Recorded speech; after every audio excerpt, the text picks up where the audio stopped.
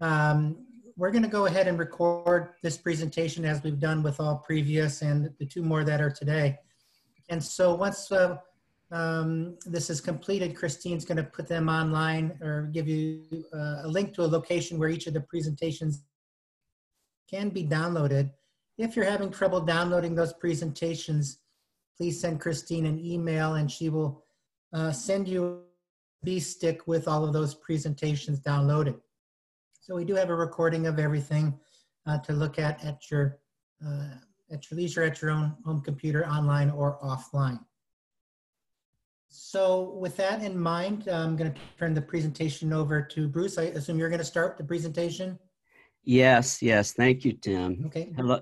Bruce Hamaker and, and his team on the value-added food products uh, project in West Africa. So Bruce? Yep. Thank you. Thank you again.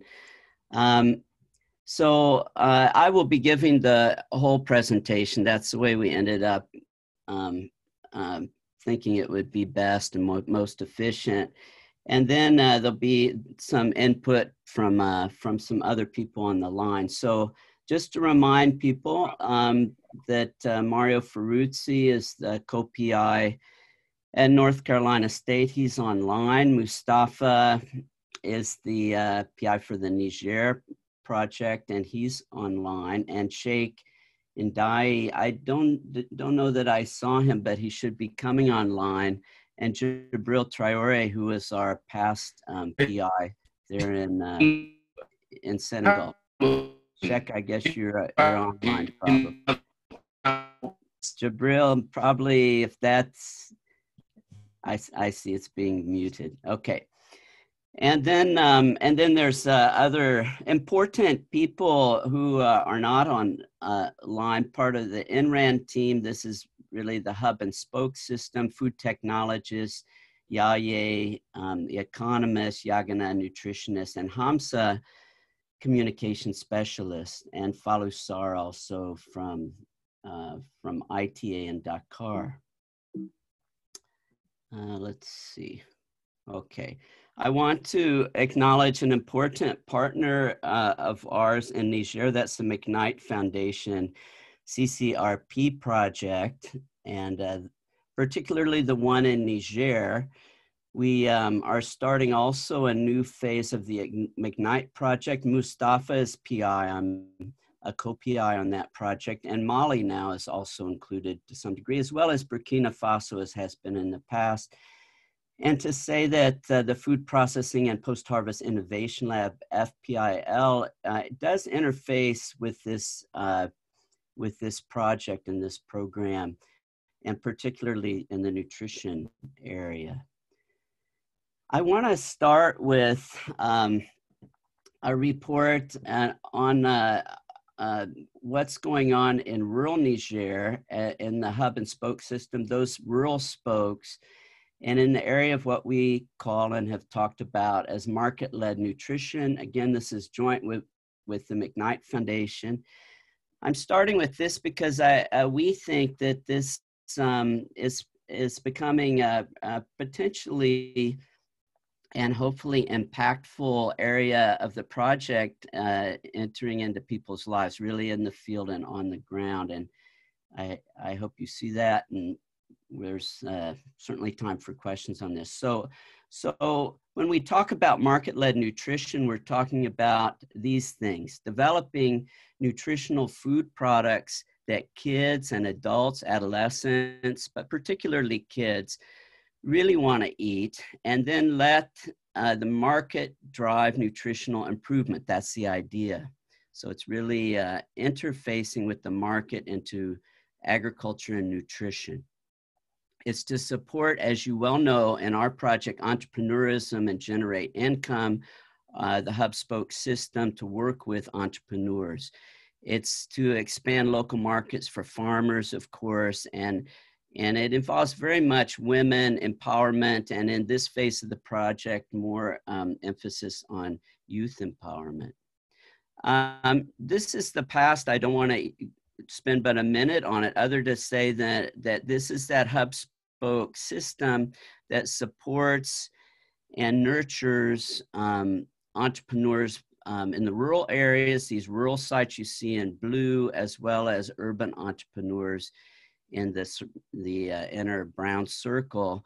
And that's really all I want to say, uh, other than I'm going to be talking about the Niger ones, Tera to the bottom left, uh, Falwel, I think you can see my cursor, Ganania and Shirkan House, uh, and, and really spend a little bit of time on Tera and Falwel.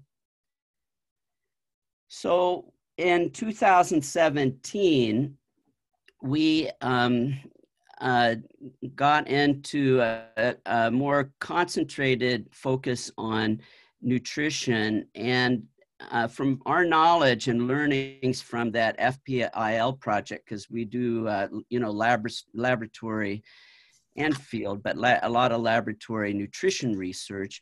We uh, and we were developing formulations and have those in that um, innovation lab.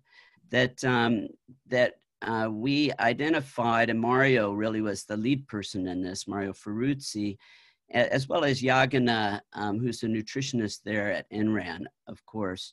Um, different formulations that are nutrient fortified. And here are three of them. There were, I believe, five um, that we put out. There was, uh, so these are nutrient enhanced millet based blends.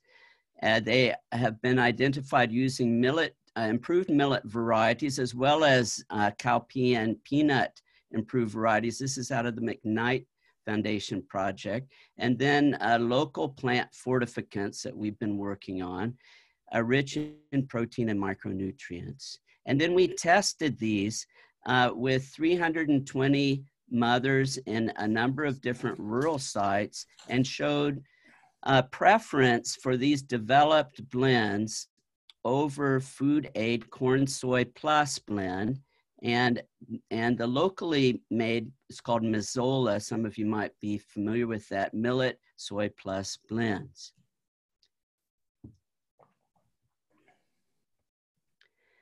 I'm going to give you some sales data, but before I do that, I, uh, these are a few um, um, comparisons that Mustafa did. Mustafa Musa um, finished his PhD last fall, graduated in December, and um, these are unreported before. And in fact, some of them were being done in early um, 2019. This is a, a look at some um, basic properties of these blends compared to um, the Misola in this case. So that's a, it's a food aid kind of uh, blend. I say food aid, but, but it, it's sold, but it's sold through health centers. It's different from the other, the soy, the corn soy plus blend is distributed through UNICEF and World Food Program into the health centers. So um, really all I want to say is that, and this, these were also roast, they're also roasted um, at these rural sites as they're prepared. And um, just to be very brief on this, in this in this diet in this uh, um, figure right here, and you can see my cursor.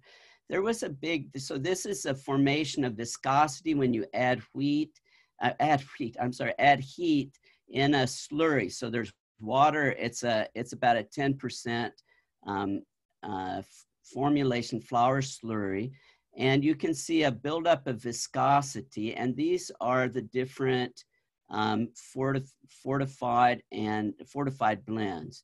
And you can see Misolas down here. So it turns out that Misola uh, appears to have been overcooked, and and uh, we think that that relates to a relatively low acceptance of these samples. I should should preface that with saying that the, the preference of these um, formulated fortified blends of ours, um, uh, I mean, we're not out to bash, you know, the food aid at all, but just simply the idea is if they're liked more and they're used more, they're more familiar to people, that uh, that they will use them more and that kids will eat them more and they'll get better nutrition into their systems.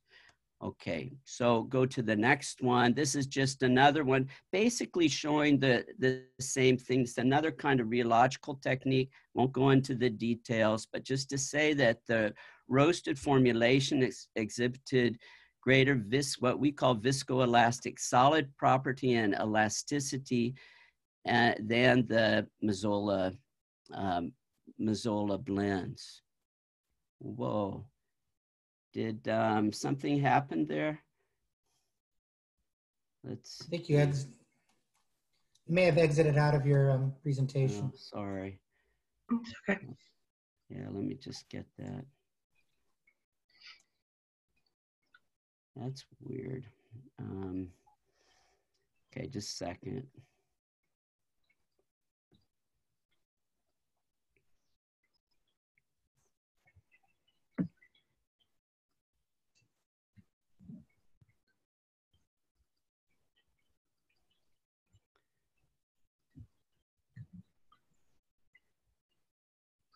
Okay, all right.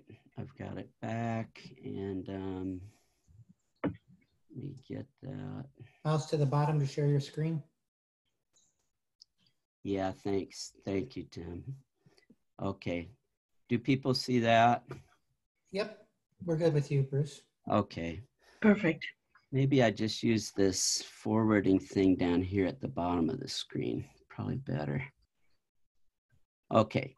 Um, whoa, there's something about when I go to that slide, it, um, so I'm gonna delete that slide, which is, huh, Christine, do we have a copy of Bruce's presentation? Maybe it's. Yes, I, I- I can your pull it up. Why don't you let Christine try to load that up and we'll see if we can get past it. And then okay, you can just tell her to advance as needed. okay, that's fine. Mhm. Let's see.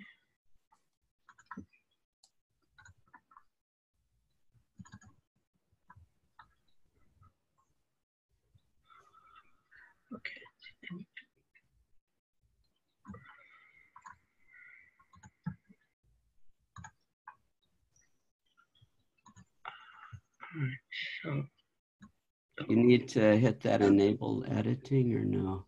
it's I mean, maybe not. Uh, remind me where you were at. Were you here? Uh, it's not on slideshow yet, Chris, er, Christine. It's not. No, no. Oh. I have it on slideshow for me. Um, I don't know if that enable editing, but we can, we could go forward like this. Huh. Okay, let's see. Yeah, to me it is on slideshow. Okay, let me try again. I think that, I don't know if that you need to save it, that enable editing gets in the way sometimes, but maybe not, I don't know. Okay, oh, maybe that's, yeah, let's try that.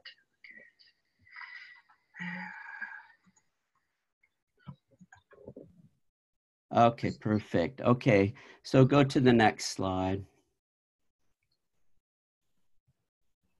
Okay, this just to show that iron content of the of the fortified blends uh, from the pro from our project compare well with Misola, and the other one is a UNICEF WFP kind of corn soy blend. So it's in that range or higher for iron. Go to the next slide. Um, here's zinc is lower. That's something we have to work on. That's particularly hard to get zinc through natural fortificants, but it is increased anyway, a bit from what we had had. Okay, go to the next slide.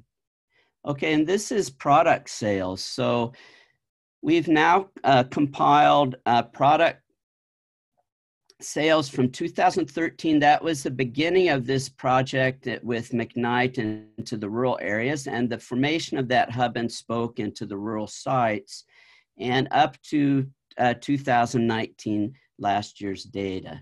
And there's some particular things that have happened in the last year that I want to point out. But before that, let's just quickly walk through, let me walk you through this slide. So um, there's at the bottom, or this is in Falwel, one of the sites. And uh, these are the different um, processed products you can see at the bottom. Dege is a large particle couscous. So there's Dege millet, Dege sorghum, couscous sorghum. Uh, I'm sorry, couscous millet and couscous sorghum. There's a cowpea couscous And then there's this fortified blend that one of those that we're talking about, and it's the simplest one. Okay, so, and this is um, kilograms of product processed and sold. And you can see a couple things right off the bat that at the beginning of the project, there were four different project products that were made and sold to some degree. In 2013, the millet, um, the two millet, Dege millet and Dege couscous, the blue and gray, were a higher volume at that point. You can see over the course of the years through 2019 that there's been a sizable increase in production of some and selling of uh, many of these products. And particularly, you can see um, in 2015 and um, and forward that there's a good amount of Dege millet uh, that's been processed and sold from this particular site. And Tim, that goes along with I think some work that you had done that T- Tabila had done, um, showing that Dege millet has a has a good good market um, potential and a good market out there. So let's move um, uh, there was in 2015, you see this, they had identified a cowpea couscous, uh, a traditional product in that part of Niger called barawa. Probably I mispronounced it, but you can see that that, um, that light blue at 2015 uh, already was starting at a pretty good uh, level, about uh, a quarter of a, a ton. And then in 2019, for that product. We're almost up to one metric ton of processing for that site. The other thing, of course, that we're talking about here is the fortified blend. As I said, that was brought in in 2017. There was a little bit processed in 2017, little bit in 2018, big jump in 2019. It's one of their biggest selling products that's um, at about um, almost 700 kgs of product. Okay, can you go to the next? And this is one other site. I won't go to the other two where the data is uh, um, not as complete, I would say, out in the Maradi, but we see the same things out there. And um, this is Tera, which is close to the um, Burkina border. And uh, it they um, so i'm not going to go through all they have more they have a more diversified group of products. Um, bass i would say a few words about these. Uh, you look at the legend at the bottom. Bassi is a millet product with peanuts peanut butter in it. Uh, babita is a product and there's millet and sorghum there. And babita is a product actually that was um, it's an old uh, fermented like pasta product that uh, that was they say virtually almost forgotten about. They've revived it, and with the help of the hub, um, INRAN, um, uh, Innovation Food Innovation Center in Niamey, they made a protocol of processing with sanitation and everything to make that a commercial product. And it's uh, so they make a it's a laborious uh, process, but they they still make it and sell it. And then there's that Dege millet, and then Diminity is another.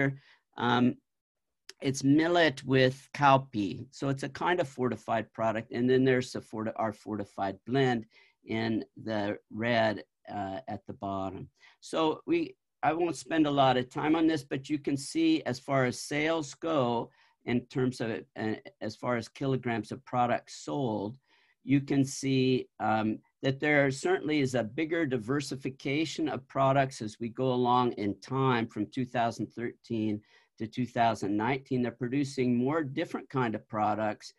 And I think the best uh, thing to look at is 2018, where you see this huge increase with fortified, the fortified blend, um, really up towards one metric ton.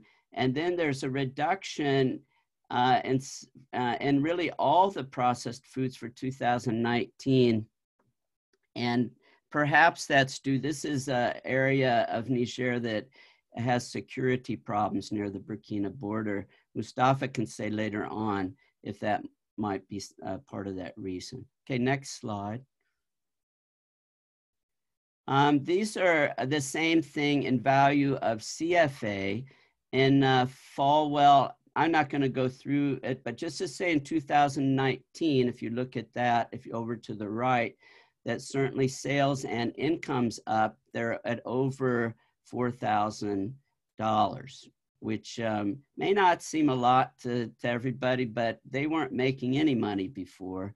And most of these women, this is a women's association of around 40 uh, women, most of them smallholder farmers.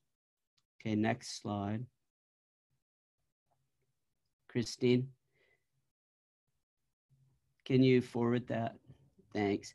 And this is Tara and uh, the 2018 data I had questions about, so we didn't put it on, um, but that you can see um, also an increase, particularly again in this fortified flour blend. So that's the real story. Uh, there's a couple stories here, but it, a big one is that the fortified flour blends have taken off. Okay, go ahead. Uh, that's uh, there's been a concerted effort to get out the word on those. The, the, there's um, with uh, Yagana, who works, who is from the Ministry of Health and is assigned to this uh, group at INRAN, that what we call the Hub Food Process Food Innovation uh, Laboratory Hub. Um, they, she um, has close ties and works through the works with the health centers and the health centers they a lot of times don't even have the food aid the WFP food aid. And so they um, are all the health, uh, the health centers are referring people to the innovation centers, the spokes, um, to buy this food when, when there's that need. There's also radio coverage. This is Hamza, the communication specialist. It's um, very a very important part of this. So there's radio broadcasts. I won't go into the detail, but just to say there's radio broadcasts, rural radio broadcasts, about markets, about the health center, availability of these products, what the products mean. In, um, in Falwel, um, World Food Program has um, recently contracted that group to, to uh, make uh, 3 million uh, CFA, that's around $5,000 of fortified products for WFP to distribute in schools in that region. Next slide. So we um, are really seeing what we think is a promising model uh, for delivery of nutrition to children. Okay, I'm sorry, this is my only slide with, anim with animation. So we see a large increase again in sales of fortified flour blends in 2018 and 19. Next one. The rural health centers again are partnering with the Spoke Food Innovation Centers uh, to provide fortified flour blends. There's training that's naturally occurring and then sometimes supported by the hub to surrounding communities to the spokes. We think that's very important. It's happening, it really happened organically starting about two, three years ago, where the women associations took it upon their own initiative to begin to um, reach out to women from other communities in those regions and to bring them in or to go there and to train them on processing. And more recently, of course, this is into the nutri nutritionally enhanced or fortified flour blends. Next one. I talked about the rural, the rural radios we think is an important aspect of this. Um, yeah, sorry, next one. Sorry. How did that happen? Um, and, uh, I, Maradi um, I didn't mention this. The Shirkin House spoke provides dakwa. That's a kind of um, peanut millet kind of um, uh, food blend that's popular also in northern Nigeria um, to a to a school there. Um, and then in Falwel, I mentioned that. Okay, go ahead. Well, this is just to show there's been a lot of, uh, a good amount of training. This is in 2019, June and July. This is um, training with the help of the hub uh, people into um, surrounding villages. I believe this is in the um, Maradi area, and I think it's Schirkenhausen. So the so again, this is um, that these blue rural hubs you see in the center are um, sort of naturally, but with the help of the hub spoke system, also expanding um, the reach of these these um, activities and technologies. Go ahead.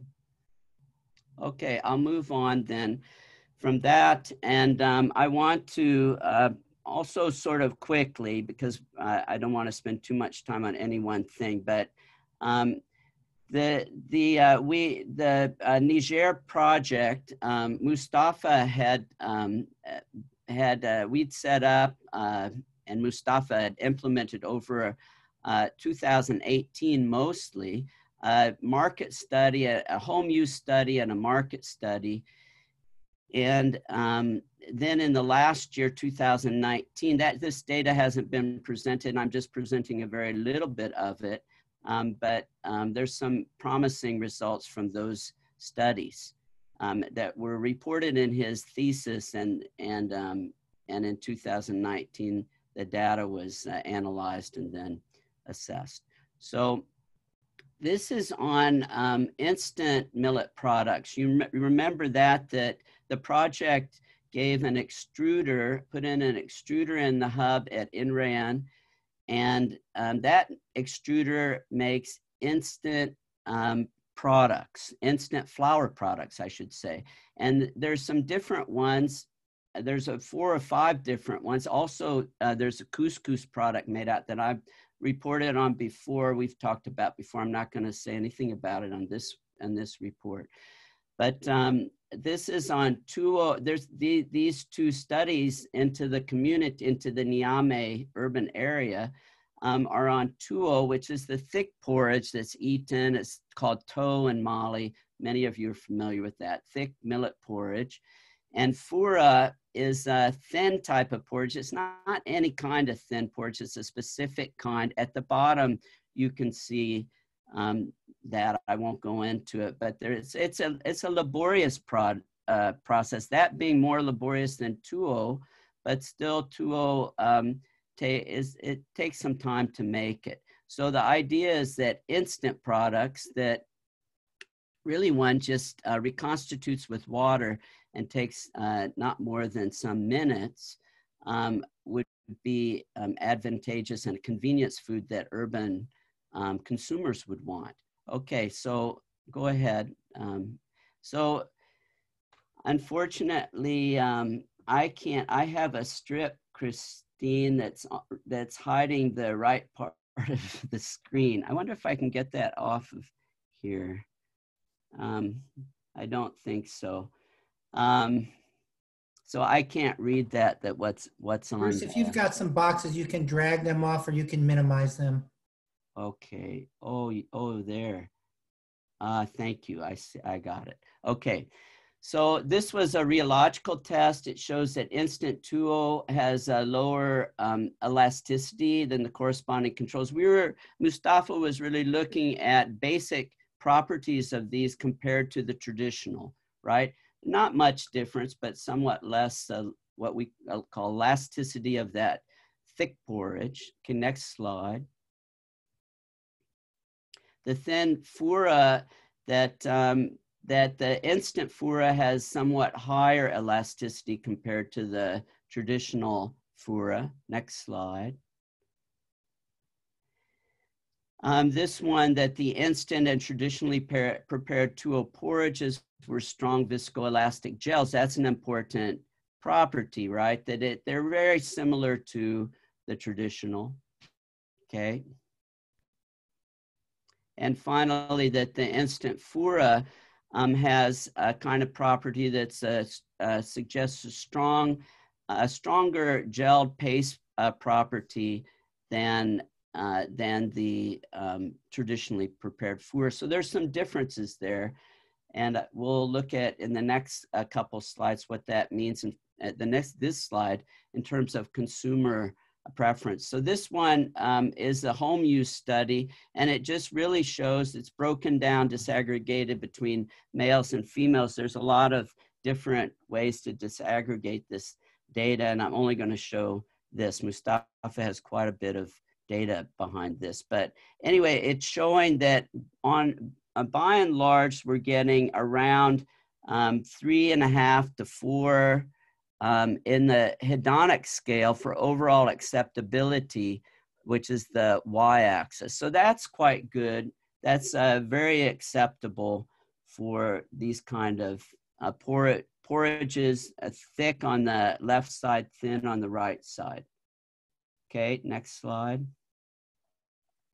And just to say that the consumers in this home use uh, test really did find an advantage uh, at, that they're very easy to to uh, prepare, and they are. They're and, and that was the purpose of having them take them home and use them because it's one thing to describe or even demonstrate what an instant what's the advantage of an instant um, you know flour uh, for thicker th thin porridges um, as here but rather uh, opposed to taking them home.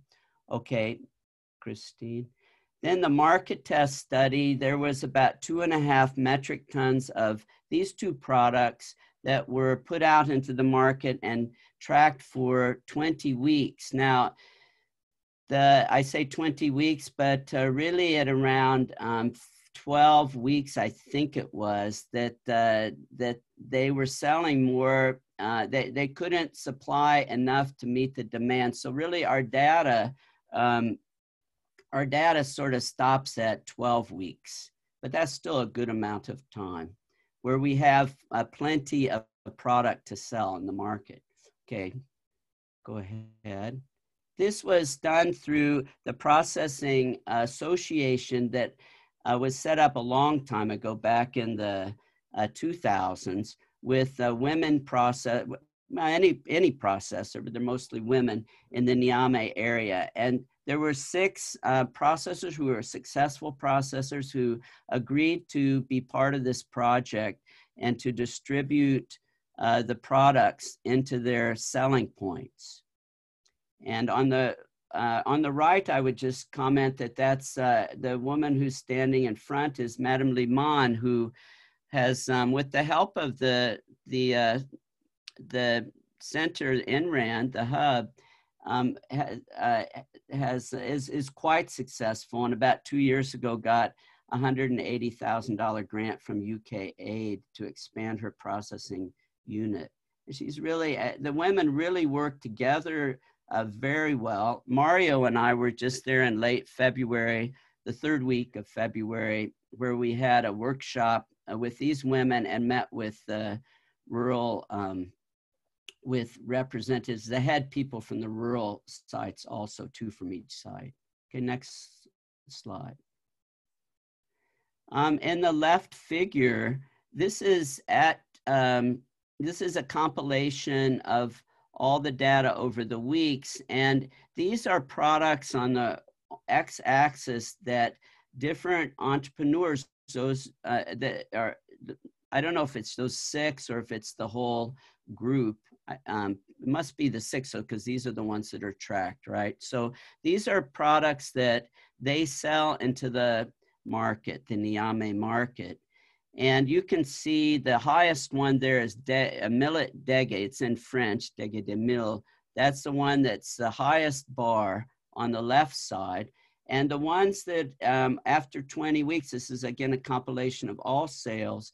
And you can see with the red arrows that these are the instant thick porridge uh, on the left and the instant thin porridge, the one that has the sort of sideway bars within it so that there, so showing that uh, consumers um, really did start buying these products and they became quite popular. And as we met with them in February, there's many uh, processors that want to want this technology and trying to figure out with with um, with the project and with INRAN how we can move forward to position them to get this kind of extrusion technology.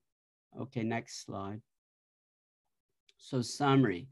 Um, there were porridge flours um, sold by processor partners uh, for 20 weeks in five locations at 30 sales sites. I mentioned there are 2.5 metric tons of instant porridge flours. That was one metric ton of instant tuo, 1.5 metric tons of instant fura. And uh, that's the amount that was sold in CFA and that these two products at the bottom accounted for one third of the total sales of all 35 cereal products sold. Okay, next slide.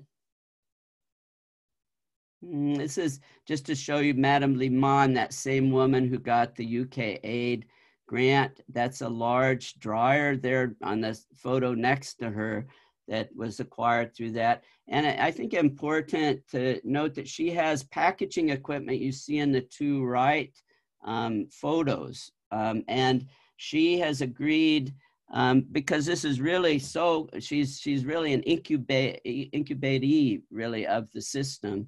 And she's very closely tied in. And she has uh, in the next uh, year we will start she's going to allow that process that packaging equipment to be used and that the project is supplying right now the packaging material and that other processors in Niamey can start using that uh, with different with uh, with different you know uh, not the same um, labeling as she has. Okay?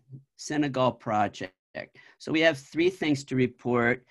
Um, uh, sensory evaluation capacity building, uh, fermented economic couscous. There's been quite a bit of work done on the lactic acid bacteria culture, and then a good amount of work done on uh, what's instant arraw. I'll talk about that. Arraw is a fat is a is a very popular product in um, in Senegal, made from millet. It's a kind of little um, rounded, sort of elongated particles that are that that's a raw product that's then cooked, um, and this is an instant arraw. Okay, go ahead. Um, I'm not going to get into, but I think it's good to put it in the slides. Um, and Cheikh had put these in, and Mario had gone over, and myself. It, just what what it, the importance of having sensory science capacity is quite big. This, we think, will be one of the leading sensory science um, facilities in West Africa. And as you can imagine, those of you who aren't close to it, but you can still imagine that um, interacting and understanding how foods are accepted by consumers is so critical when one is trying to then go through the final stages of development of those products and get the market to drive them. Sort of what we were talking about in Niger with those uh, fortified blends that we went through a sensory analysis with 320 mothers, but this is a formal kind of, a more formal kind of facility and it's um, and funded through the project. So next slide.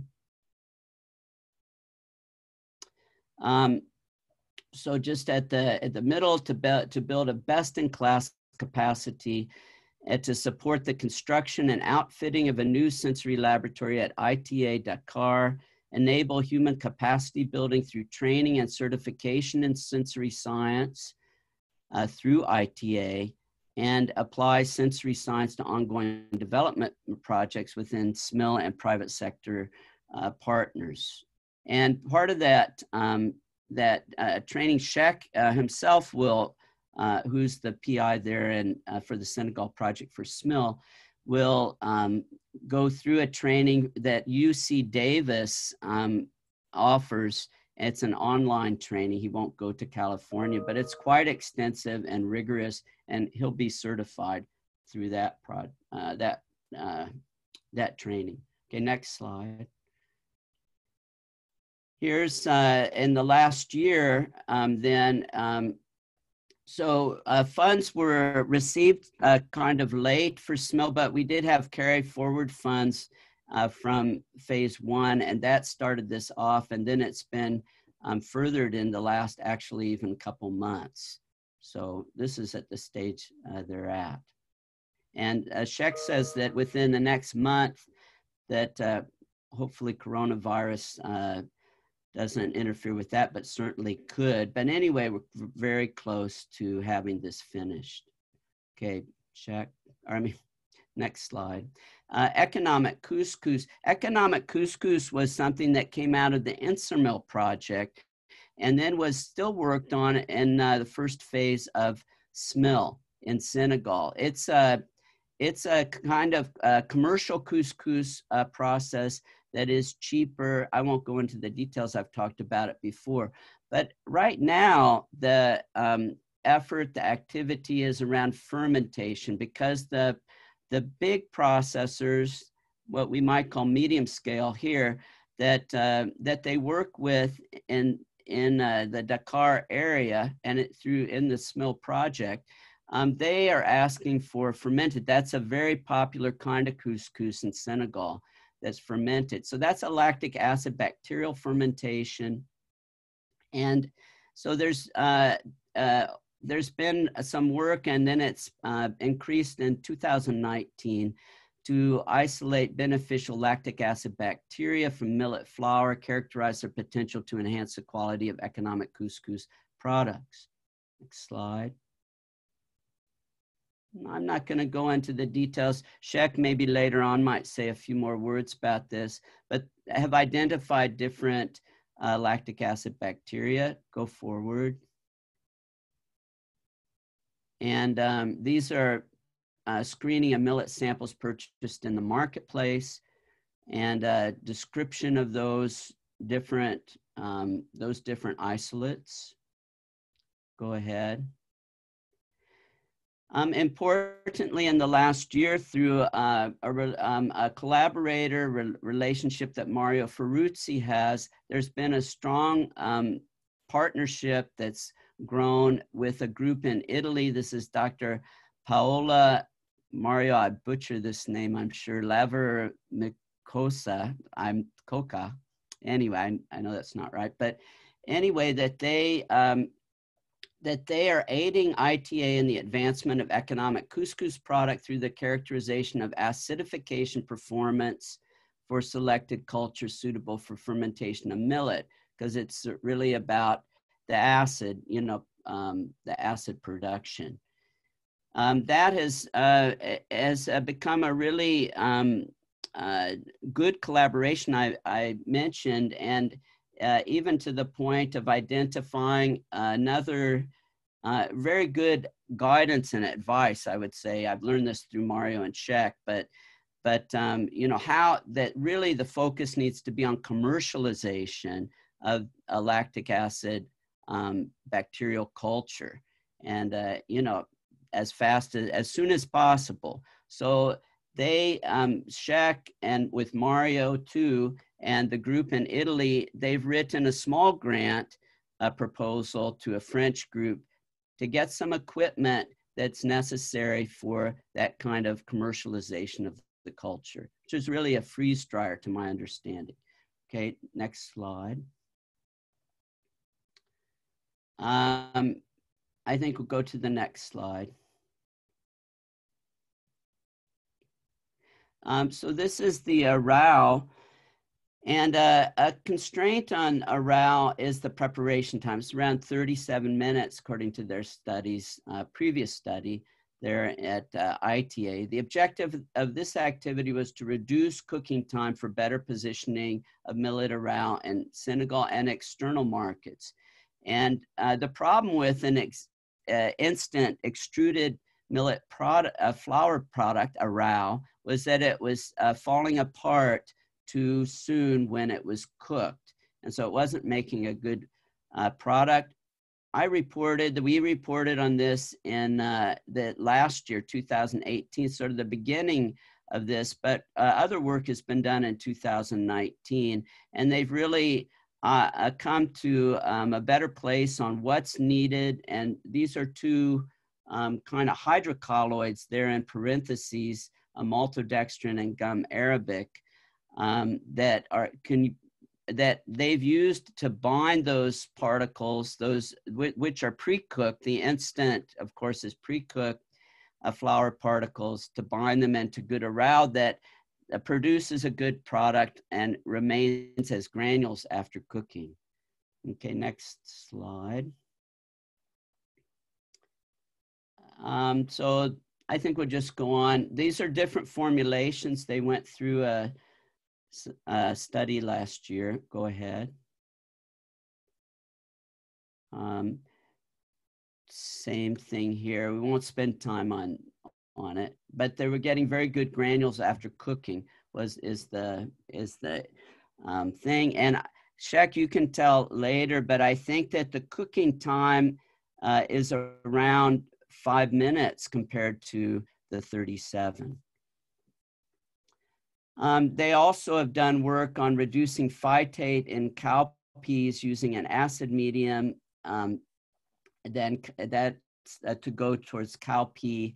Cowpea has a fairly high amount of phytate and to go into blends of sorghum and millet. And they also have done work on whole grain fiber um, content in millet products that I'm not presenting here. Okay, next slide. Here's just very briefly some other 2019 project outputs, um, some publications and manuscripts. Uh, I'm not, the manuscripts to be submitted. There's a couscous manuscript from Mustafa that we're, I hope to get it in actually last week, but uh, it'll be going in next week. And then uh, one of our uh, purposes there in Niger um, last month in the third week of February. Um, we met with the, as I mentioned, we met with the uh, representatives from the spokes, two from each spoke, and we spent uh, two days actually going over data, a lot more than I showed, uh, and putting together the framework for a paper which we're now compiling. So that's a not a not i shouldn't put a really put hub and spoke it's the nutritional aspect that i covered in the first um, part of this presentation that we're working towards a publication in that that we want to get out um, as soon as possible i'm going to talk a little bit about graduate training we had that workshop in february i already mentioned it and then there's some other niger workshops uh, and there's been other trainings with the entrepreneurs in Dakar, which are which uh, I'm not going to cover. Okay, go ahead. Here's just uh, two our two papers that were published last year. This is out of Mario's group.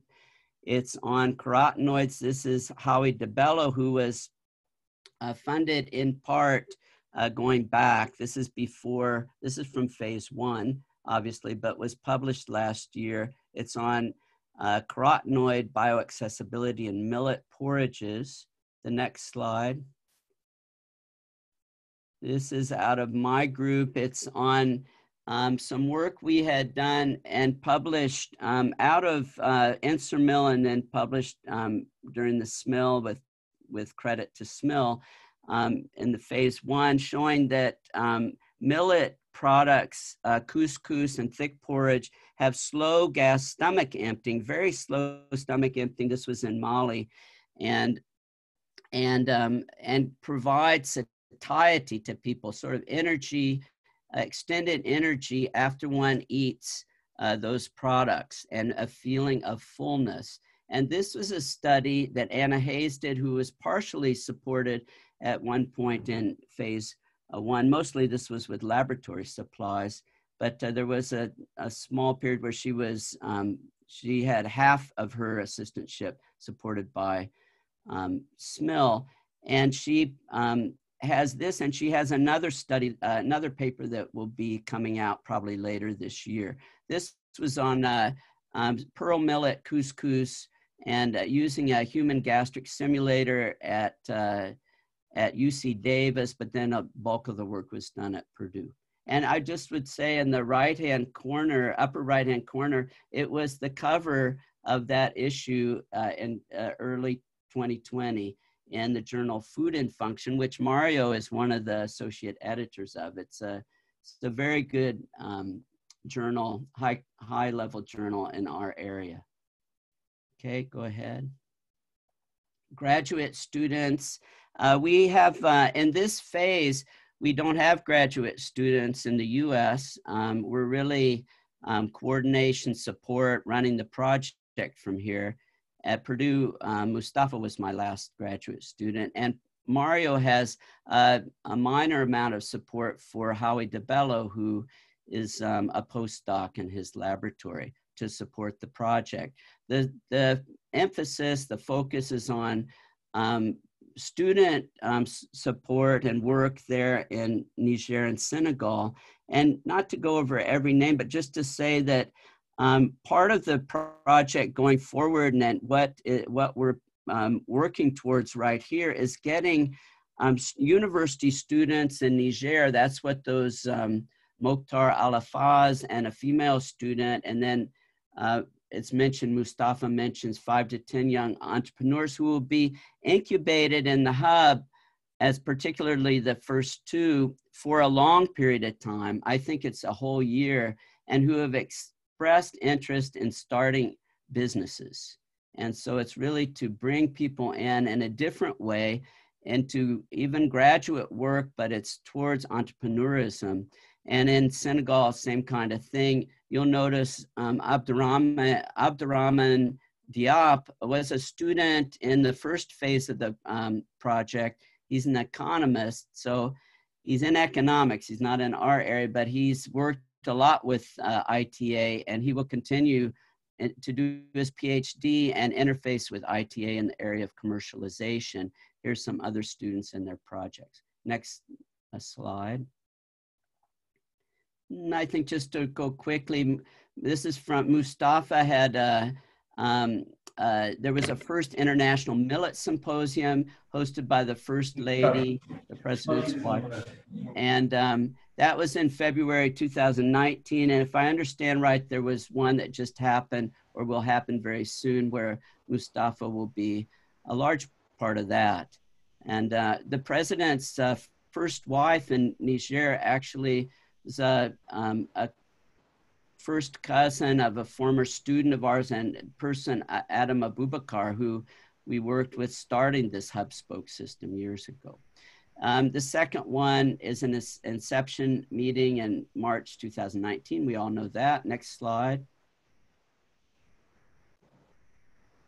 Here's a workshop um, in Ghana that Mustafa presented um, the what's what we're doing in the project. Next slide. Future planning uh, for 2020. Okay, next slide. Um, for traditional and new project concepts, there uh, Niger is uh, working right now on two co-extruded couscous product products. One's called Tousme, the other one Lacquerie. Um, Senegal, there's be a further optimization of the instant arousal, including sensory testing with the Dakar processors and trying to move that out into the commercial area, as well as the same with economic couscous is fermented that we've been talking about, but still there's work on the fermentation part of that. There's packaging work that will be done and in both places. In Senegal, there's uh, ITA is setting up really what will be a packaging center. They have a packaging uh, machine that was in disrepair, but um, but is being fixed with just a little bit of input from our side, and um, it's it will be a very important uh, part of working with entrepreneurs and getting good packaging. Really important.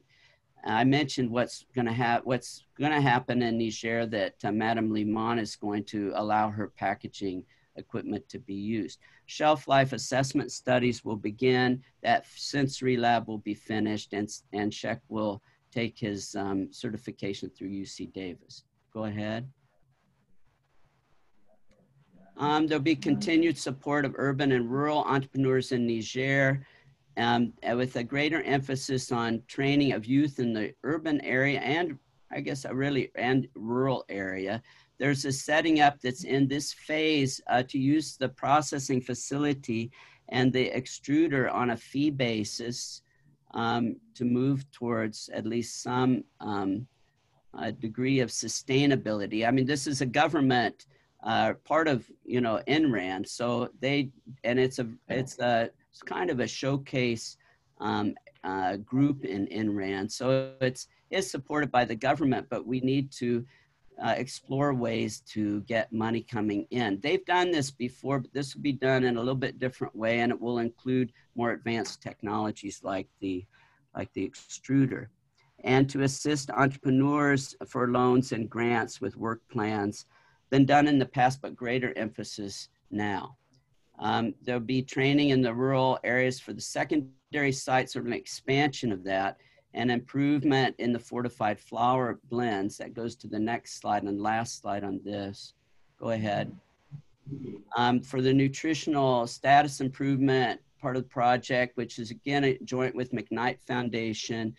Um, I don't want to go through the details of that, but there are two parts. If you go to the lower bullets, there's a quantitative preference test for improved nutrient fortified blends uh, compared to food aid, and then a nutritional six month nutritional impact study that will compare our blend, our best blend that is in this case is matched, which the other one was not, I have to say, matched for micronutrients, protein content, you know, nutrient fortification with the food aid uh, blends and um, and no, can just hold that just for a second. And there will, uh, so we will uh, be further developing that study design. We we talked quite a bit about that. We worked on that really in February, and submission of IRB documents uh, will be this um, probably this. Um, uh, we were thinking this spring, but I imagine it will go into probably June, July. Okay. And the final slide is uh, on contingencies. We were asked to talk, say something about and COVID-19 adaptation strategies. Um, for that last, for the um, um, the the uh, the nutritional study, clinical study, field study in Niger, um, you know, we have to have a contingency plan there. So we will have a meet, meeting. It'll be a web meeting with partners to consider what activity would replace a Niger clinical study if we weren't able to do that due to COVID-19. Um, we hope that's really scheduled into year three, but it's at the beginning of year three. So um, it's coming up. And uh, we have to just think well about that. And, and Tim and the group there in Kansas State to, to discuss that with you. And then the last, the, the other thing is the Niger security issue um, we certainly hope that doesn't um, worsen, but we're, you know, we're aware and Mustafa uh, keeps us updated on that. It has affected, well, as I mentioned, that site near, um, near uh, Burkina Faso, but they're still quite active and and Fure, Fure, who's the head of that group, uh, just went to the McKnight meeting in Montpellier uh, just last month or the beginning of this month. Okay, thank you very much. That's it. Okay, let's open up the um, uh, questions at this time for Bruce and his team.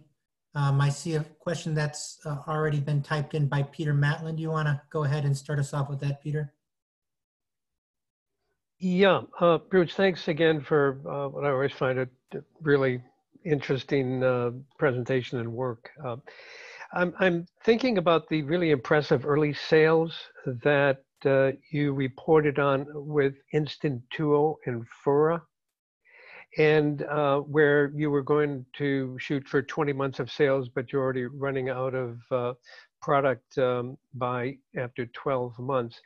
My question is, how were the products being priced in the market? Uh, did they fully account for all of the costing of all of the inputs, including labor time and, and so forth? Um, and um, uh, well, I think you get you get the point. Uh, were there any yeah. subsidies included that uh, yeah. that may have accounted for these sales? Because it really is a market decision that consumers are making. Yeah, yeah, that's a really really important question. Was something we we discussed and found a, a determined a pricing at the beginning, and honestly, I don't remember the details of that. Mustafa, can you comment? But, but perhaps to your point, microphone. perhaps to your point, Peter, that it was we just didn't uh, price it high enough. But as far as covering, you know, it was made in the. Uh, we're aware of, uh, and you know, we are aware, but we've not done a rigorous. We've, we've not done a rigorous evaluation, but we've done evaluation of, you know, how much it costs, electricity, and that kind of thing, to produce products. But of course, the extruder is sitting there in the hub too.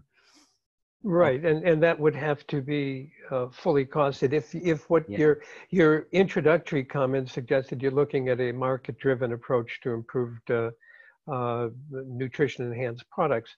And uh, so one has to do a uh, business analysis of what would it require for a businessman to be able to produce and market this and to achieve the kind of sales uh, that, that you are looking at. Yeah, you're Um, right. I, I do want to point out, uh, Peter, that those rural, those fortified blends are not extruded. They're not instant. Those are those are roasted and uh, using a very simple kind of technology. Um, Right, but not the urban products, right? Those were but but extruded. even that, you're right. In every case, no, it's it's um it's I think it's really critical, isn't it? Mustafa, can you unmute your Yeah. mi- microphone? Okay, yeah. Thank you, Bruce and Berhani. So actually about the pricing for the instant uh, pura and tuo, uh, first we, during the survey, the first part of the survey, I mean the home use, we had uh, a kind of willingness to pay data that were not presented where they estimated the cost at the household. Then we came back, we had a meeting with the rural, uh, the urban processors, and uh, we agreed to sell the product uh, at the range of sales of the, the product that, uh, that they are currently selling in those sales stores, like the dege, the couscous. So the, the, the price was just estimated as the product was made by those uh, urban women and then they propose the product at the sales stores and the consumers are coming to buy it according to those uh, the price of the similar uh, uh, alternative product. And uh, that's the way they, they sell it and they had the profit just as their existing product. But they add a premium of I think 100 franc on uh, all the extruded product, and uh, the product were uh, sold like that. And for the urban, uh, for the rural area, the 45 product, they estimated the the cost according to what they are uh, having as input from the grain they are uh, growing, and also the uh, supplies like the plastic they are buying and they have a pricing system and they are uh, getting profit. Uh, I think if you remember, Bruce, of uh, about uh, 250 franc CFA on each uh, package. At some point, they even had to reduce the profit because they have noticed that it was too much, though the uh, food innovation centers was uh, uh, supported in terms of funding uh, through the McKnight project. So they have the equipment, the facilities, and the operation is doing from what they are getting as profit, and they share the the cost according to the supplies they have and also the labor, the contribution of each of them, and how they can also share the profit. So uh, to come to the economic analysis, I think this is uh, something critical that we can do uh, for the extruded product. Once we had an extruder, maybe placed in a real commercial uh, situation, like uh, in a unit of people like Madame Liman, then we can really track that estimate uh, of the cost and get a price that corresponds to the exact uh, investment. Thank you. Good, thank you very much. Uh, Bettina, would you like to go ahead and ask a couple of questions? Yes, so thank you very much, Bruce and team. One thing I was wondering whether you are now monitoring the aflatoxins, especially in the food products that contain groundnut. Yeah, um, that's in the that's in this phase in both in the in the McKnight um, as well as it's mentioned in the SMIL. Um, what my understanding, and we Mustafa, when we started using peanut, they do train the women to uh, with the blanching technique, you know, to remove those that um, any peanuts that you know turn dark brown and a blanching, you know, that that that means they potentially have aflatoxin. But we've not, uh, to my knowledge, started, and I'm glad you brought it up, the actual screening uh, or testing for aflatoxin. I think not. But we are, are careful in that way, you know, of doing that blanching. Um, I think it would still be good to monitor this, yeah, to know right. what is in, since You're you right. are promoting this also to young kids. Yep, we will do. Thank you. Yeah, and my other question was whether there are formal contracts in place for quality grain Yes. production between the pros- processor groups and the farmers.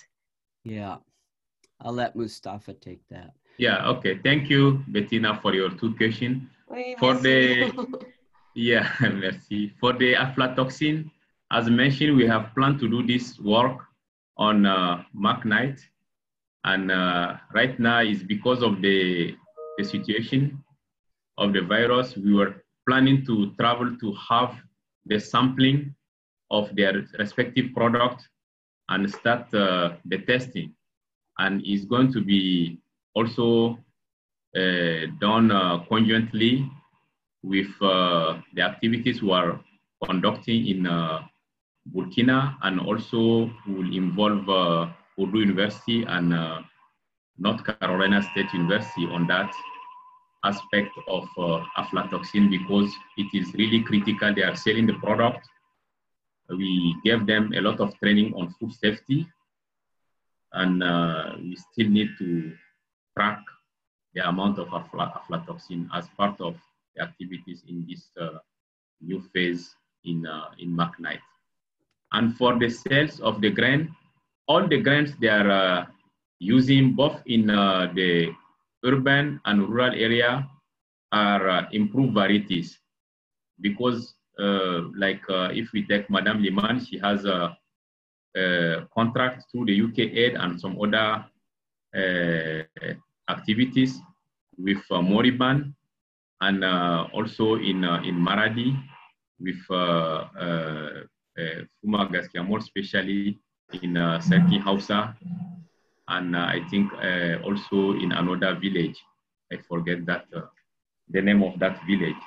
But they know all the varieties they they, they need for specific products that they are processing in in in Niamey. And in the village also all the improved varieties and uh, the other varieties are from uh, the farmer Union, which are all linked to either INRAN or uh, ICRISAT for those activities. Thank you. Thank- Uh, uh, Follow up you. at all, Bettina, or are you good with that? I'm fine Okay. the time. Okay, I'd like to go to, um, um, Barbara is asking a question about aflatoxins in peanuts. Um, Do you have any information about the effect of fermentation on aflatoxins? She says that there's very limited amounts of, uh, uh, very few papers that are available uh, with contradictory uh, results. Uh, Barbara, anything to add to that question? No, it's being actively pursued, and it's not actually only these two papers that contradict, but it it may be the strain of bacteria being used. I'm not sure what uh, results in so much um, difference in results in these studies. Mhm. I mean, I don't know, uh, Barbara, the answer to that. I mean, we, that's something perhaps they could do in, in, uh, in Senegal, because Jabril, I see he wrote, wrote a chat message too. I mean, that, they've done, they have a student, um, Elias DMA, who has worked on aflatoxin and processing. Though I don't think he's worked, I, I know he's not worked on fermentation, but, um, perhaps we could look at that. Bruce, It's a good question. It's a good question. So Bruce, it's in, and, and Barbara, it's a really excellent question. It uh, about seven or eight years ago, we had some work with uh, a colleague who came from Mexico, looking at uh, bacterial strains for aflatoxin metabolism through fermentation of dairy products. So they were interested in in M1, which is the kind of ruminant product and metabolite you see in milk as it gets in from the grain and uh, they found good success. But he had done in his, I think it was from the Polytechnico of Monterrey, they had done quite a bit of work on identifying specific strains of lactic acid bacteria. So that could be part of the the issue out there is what strains of, of lactic acid bacteria are best suited to grains may not necessarily be giving the same activity but that's something that you know again through senegal and I know that they've done some uh, quite a bit of work of this uh, at ISPA, the Italian lab that the Dakar now has a connection to. They have a huge aflatoxin lab there. Uh, that Cheikh, uh, we may want to follow up with them. They probably already have some insight into some of these strains. We could add that as a criteria for discussion in selection. So that that's a really excellent point. I'm I'm really thrilled to hear that. It's, I think that's a good opportunity to perhaps synergize a couple of functionalities. Great. Uh, Barbara, would you, while you're on the um, spot right now, would you like to follow up with your uh, second question?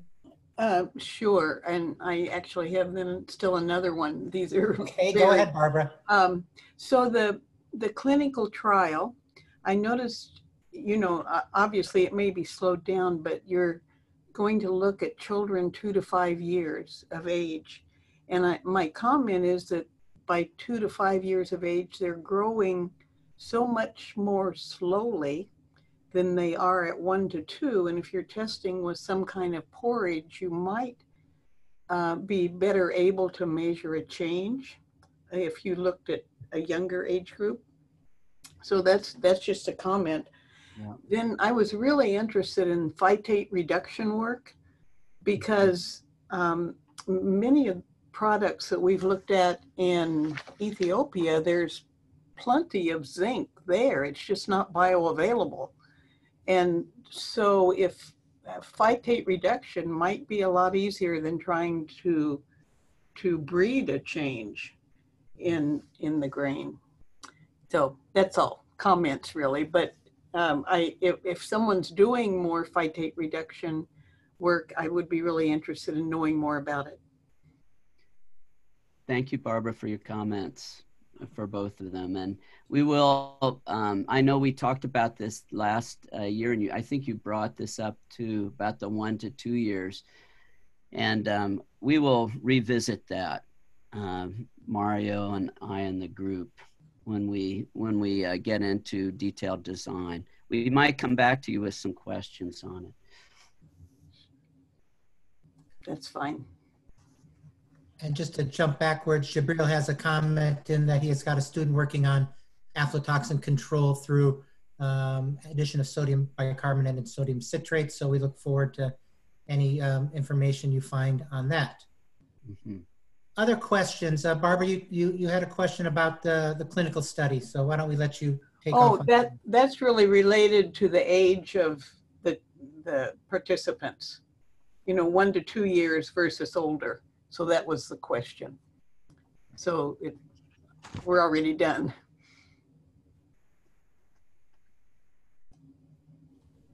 Okay, great.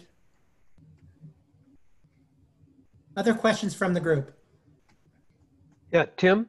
Uh, I, I, I'd put another one into the chat box, and this was uh, related to some comments that uh, Bruce made with respect to some packaging work that they're going to be starting. And uh, uh, it's a, just really a comment, possibly recommendation that when you are working on, on packaging approaches, it might be valuable to bring in um, uh, individuals primarily from the private sector with expertise in marketing and advertisement to help you determine what are the most effective branding uh, strategies that you might use. And this would include uh, selection of, of colors and images and messages that you might want to convey on the packages. It's been found to be effective when uh, promoting uh, locally produced uh, products elsewhere in West Africa. It may well work here. Yep. Thank you, Peter. And then maybe one other question, and this is with respect to what Bruce reported on the rural studies in Falwel and and uh, Tera. Tera, right. In Falwel, it was clear that the sales were going up for for most of the products, some more than others, but for most of the products. In Tera, with the exception of the fortified flour, the the sales were really going down. The, to me, you you didn't report it that way, but from looking at the numbers, it appeared to mm-hmm. me that they were either stagnant or declining. And the question is why? And mm-hmm. and I ask that more from a research perspective that there may be uh, a lot to learn by comparing the Falwel and Tera uh, cases? Were there differences in promotion? Did they have difficulties in mm-hmm. quality mm-hmm. control? Were there different markets uh, in terms of the consumers?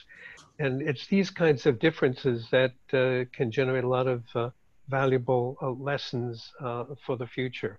Mm-hmm. Yeah, thanks for your comment. I, you know, I wondered the same thing, and I, I sort of that Babita product in particular, they had a kind of rise and then it went went quite a ways down, and I wondered if that's in that case is not uh, connected with it being such a laborious process to make the thing. It's like a two three day thing to you know uh, process to make it, and that they these um, fortified flours, you know, they just roast it and they grind, you know, mill it and so forth forth is easier. I don't know if it has to do with that. Mustafa, do you have any comment? Yeah, really, I think uh, from what I hear from uh, Fure and the other women during our meeting in February, they are more uh, focusing on uh, fortified products, more especially the, the, the flour for the children and uh, the giminti, which is the couscous and the peanut and uh, also the Dakwa.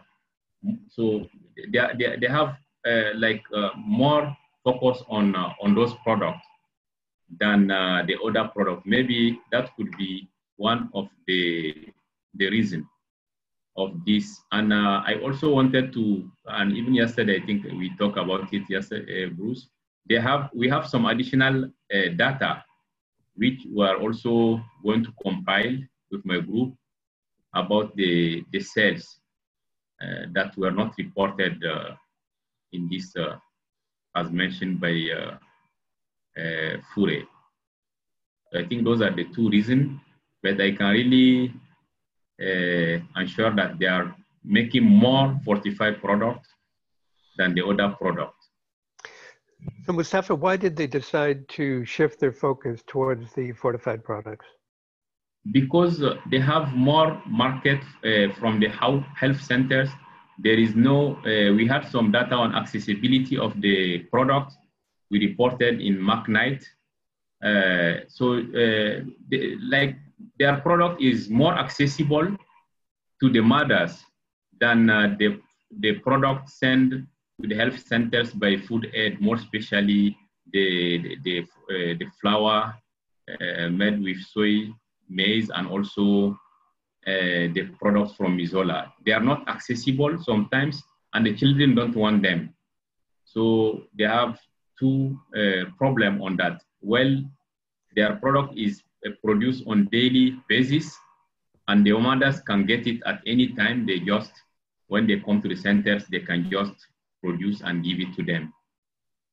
So they are really seeing an increase in demand. And also the radio, rural radio have really activated the, the sales uh, from the weekly market. So there are many people coming from those markets and ask for the product. And also the feeding school. So they are seeing, I think, more opportunities in the fortified product. Okay, primarily because of government and institutional and aid interventions. Okay, very good. Thank yes. you. Thank you. Thank you, Peter. Other questions from the from the audience?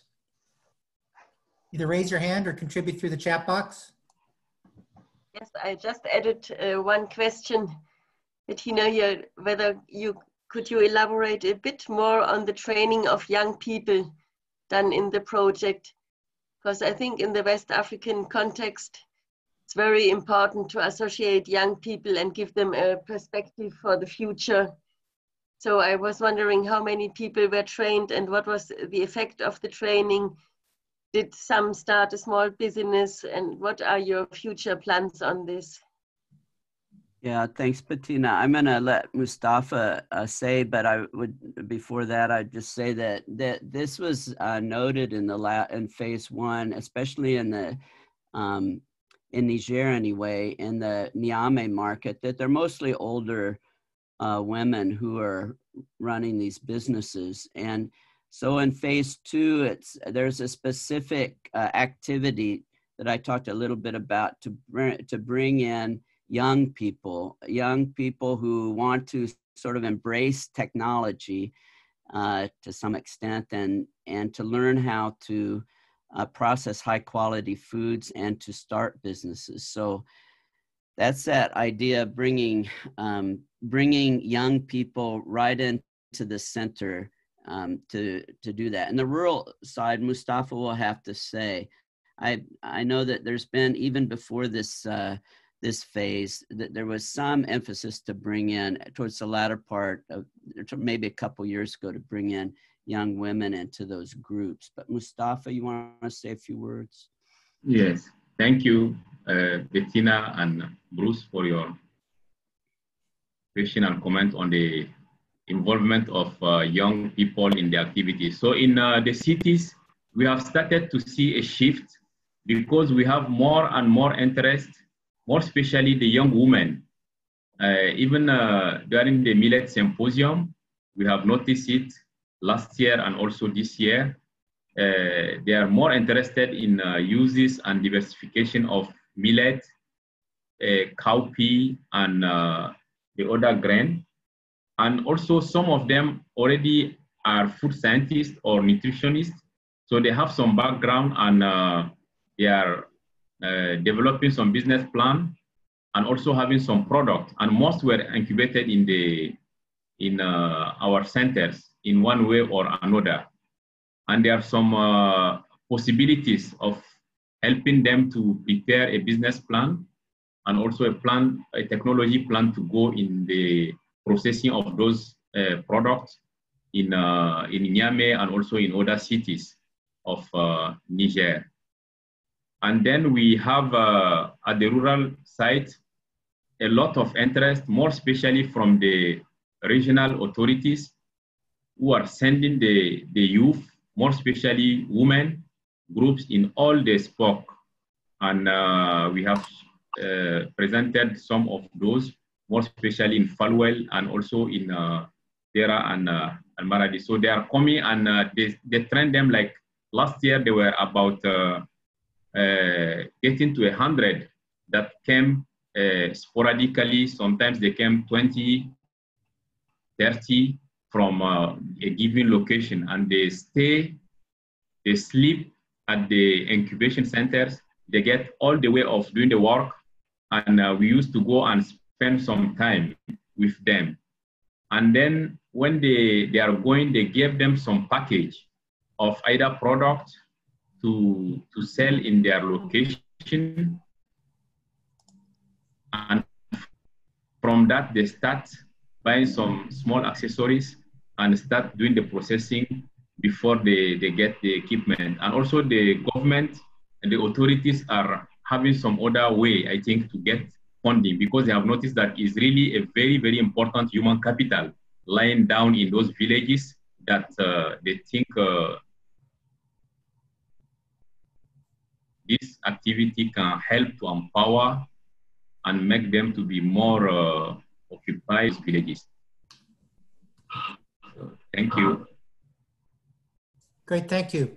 Um, I'm going to ask, uh, uh, turn the microphone over to Cheikh. Uh, he'd like to interject something. So Cheikh, please go ahead.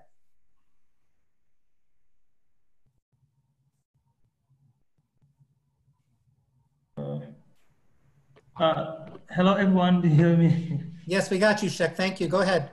All right. Thank you very much for giving me the opportunity. Just to, say that, you know, the question is very important, you know, especially in, the, in youth training. And uh, I think this could be something that we could strengthen our between Niger and Senegal, because actually even in ITA, we are, we are, we are, we are, we are a training center that has been funded because we have the fund uh, from African Development Bank, you know, in order now to build some uh, space now that belong to ITA only for training. And and in this in this in this program, we are we are just looking on on youth and uh, and women, and that's why I say it's very important this part, you know, to implement it, you know, because it's, it's, it's a big problem actually for the government, and I think the project will work on that. uh, on getting this youth and, and women trained.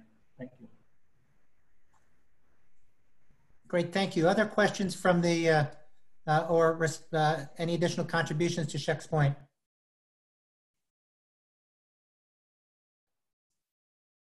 I really wonder whether we should like start uh, uh, implement some startup kits for young people like Mustafa described a little bit, but if we could strengthen that further to really encourage young people to engage uh, here in a, a, business and income generating activity.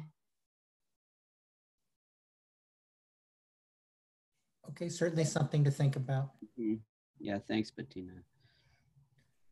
Other questions and observations?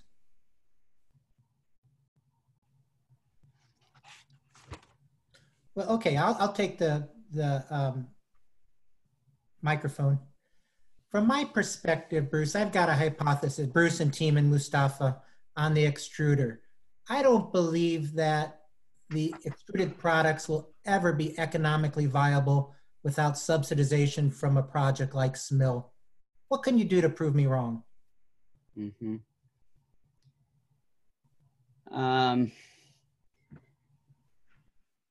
yeah, I, you know, I would, I, there needs to be another kind of, I guess, another kind of study. Could, maybe doesn't have to be a large one to see how much people would pay in a marketplace, in the market for these kind of instant products. And it might be different from Niamey to, to uh, Dakar, for instance. Let me just stop you there, Bruce. That study was already done by um, my student. I mean, we have yeah. the that information is already available. Yeah.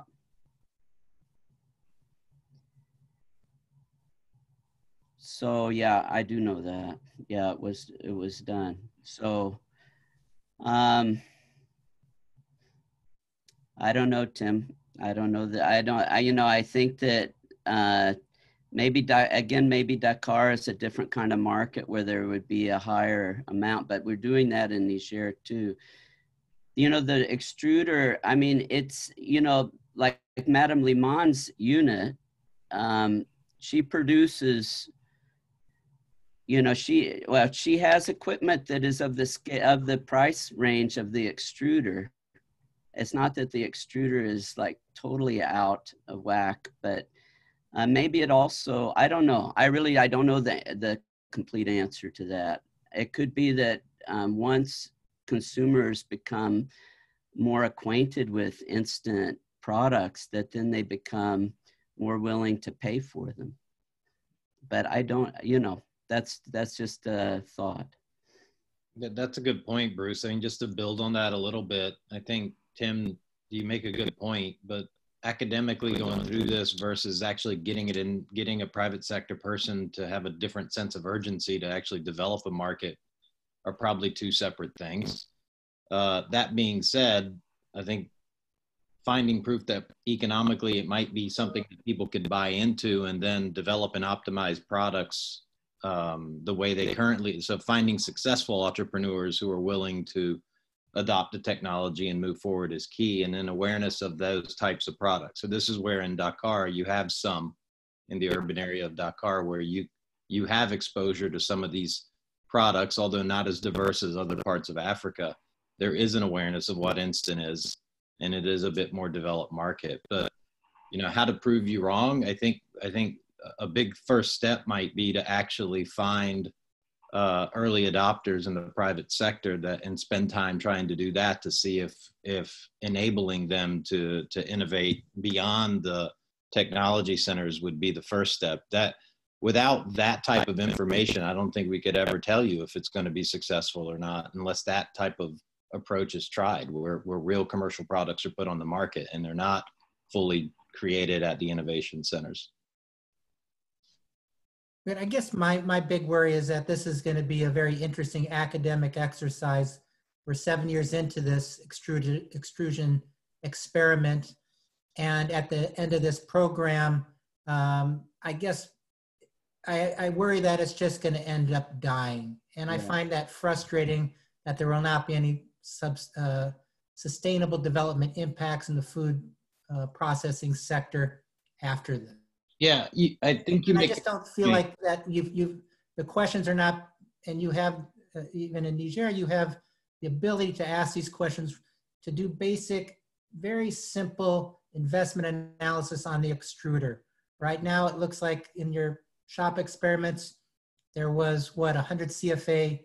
Uh, so what is that? Uh, you know, 100 CFA premium that was placed upon the products. Is that enough to cover those additional capital costs of that extruder? Well, right. I don't think at the volumes that you're producing and selling. Yeah, I, I, so I, I this is what frets, frustrates me at this point in time with this project. Yeah, but if we also consider the fact that you, you know, I know that we're working in Niger, working in in Senegal is different, but overall, when you look at the food industry, adoption of new technology takes time, and that's the same in the U.S. as it is in Europe, as it is anywhere um, I mean, people have been working on microwave technologies for 50 years, and it's only now being adopted uh, in the in the United States for large scale production of certain high value products. It doesn't mean that the technology is bad and it won't be successful. It's just that the capital investments to put in, people don't want to change when they have a technology that works. So there is a little bit of those headwinds in the industry overall. Uh, and I, I think Bruce is right in the sense of once you show what you can do that's different with this technology and create new categories of products that might be where you, you see more interest in adoption from the private sector as opposed you know simple pre-cooked flours have their value but you know what what mustafa's done in making the fura and some of the other products that are different and unique uh, they have some tie to traditional but the extruder allows people to make things that are different. I think that's where you might start seeing some interest in adopting uh, this technology when you can give people something new that that that you have evidence consumers like. Uh, so i mean it's it's it, i think we have to keep moving along but i think trying to find the uh, a, an outcome of this would be to find the private sector person that's really going to adopt and, and, maybe go into it themselves in, in, in phase two as opposed to just subsidizing it. Hey tim can't we bring together can't we bring together your willingness to pay uh, results that your student did with uh, some budgets of uh, uh, alternative enterprises operating at different scales and sourcing their extruders from different areas? For example, cheaper Chinese, perhaps if they exist, cheaper Chinese extruders and operating at different volumes. And at what point uh, would you have a a profitable enterprise. Again, uh, uh, confronting it with your willingness to pay results. I think that's a, that's an obvious way to go um, as a as a starting point. I mean, it would at least so the, be I able guess to. the question to to Mustafa and his team is that something yeah. that uh, Yaya is interested in pursuing. He would be the logical person to, to tackle such investment analyses. Uh, yeah, thank you, Tim. As regard to the extruder, I think uh, uh, the observation made by uh, Mario are very close to really what we're thinking to be the, the way and also what you have mentioned because the biggest things of this extruder in terms of, I think, advantages, it shortened the process time of making tuwo and uh, fura. Even last uh, February when we had the big workshop, they told us that right now in urban area, the women, if we take like uh, tuwo, not every woman can successfully make a traditional tuwo to his uh, husband or household. And they have noticed that the uh, instant flour made from that extruder, whatever is your experience in uh, preparing a tuwo, you can uh, succeed in making it. So th this is something that they have discovered and also the way it is so easy for them to make. And uh, also they mention all these organoleptic properties about the tuwo. And if we come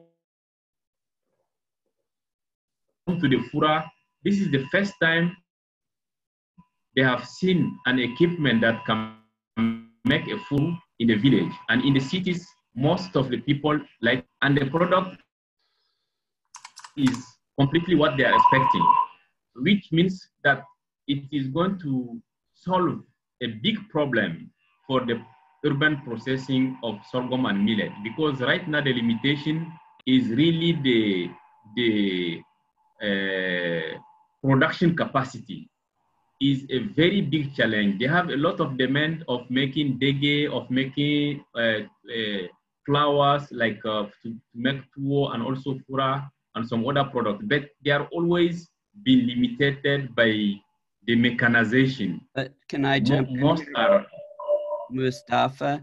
Can I? I think Yes. tho- those things are are um, are clear from the food like technology side. But what they're what Tim is bringing up and Peter, which are highly valid, um, is that we need to with Yaya, we need to talk with him. You know. Uh, because he's the guy who can do it, as Tim says, to do this kind of budgeting out and figuring out the cost of operation, maybe in some different scenarios of different kind of um, entrepreneur processing units, and you know how much it's going to cost, you know, in those different units. And Yaye, yeah, let's let's talk to Yaye about that.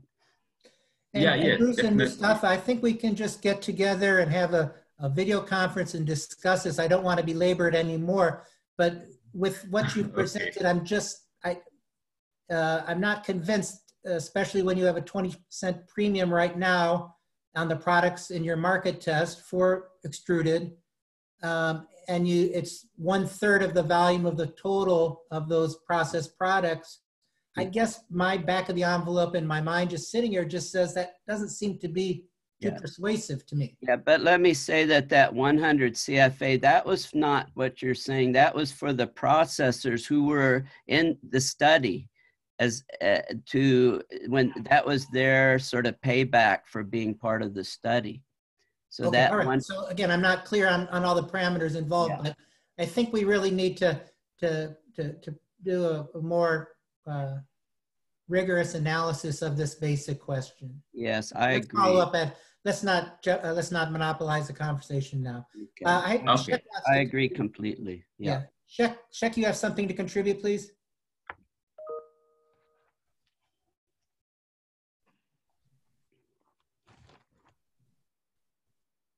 Cheikh, we don't hear you yet. There you go. Still muted, Cheikh. Okay.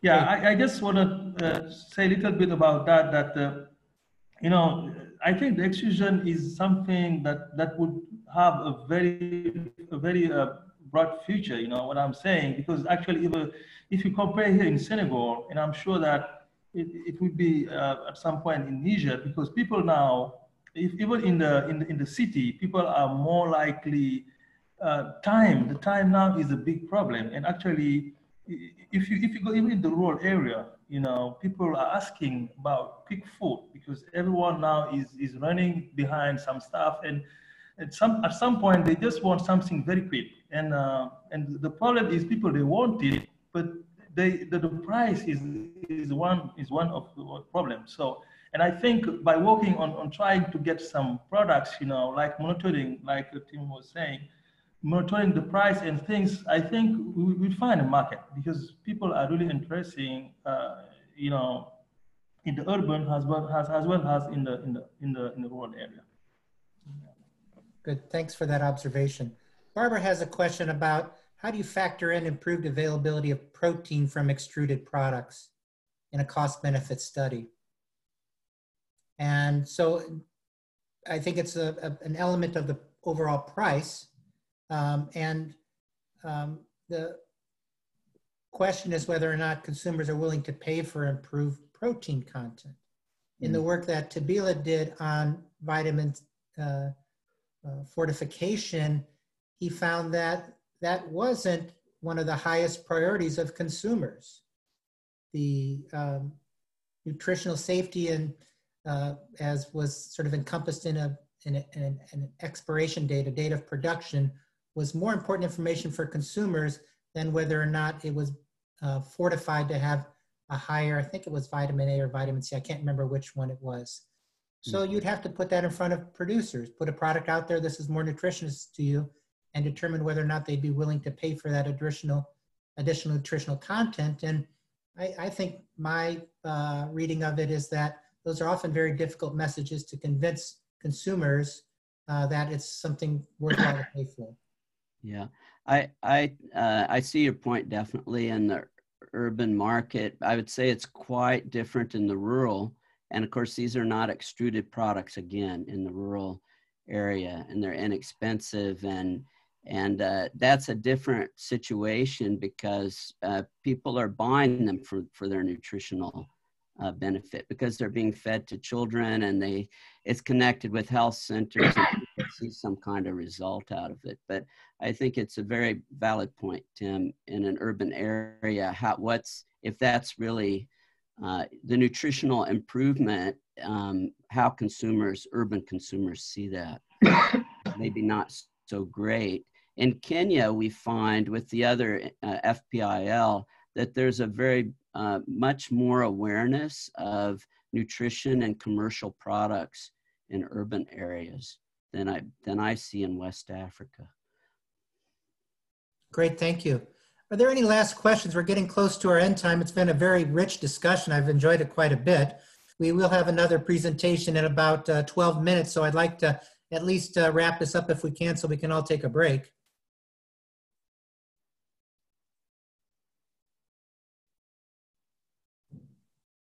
Well, it doesn't look so. So I want to thank Bruce and his team for their presentation this morning. A lot of exciting information and a lot of challenging questions ahead that uh, you have.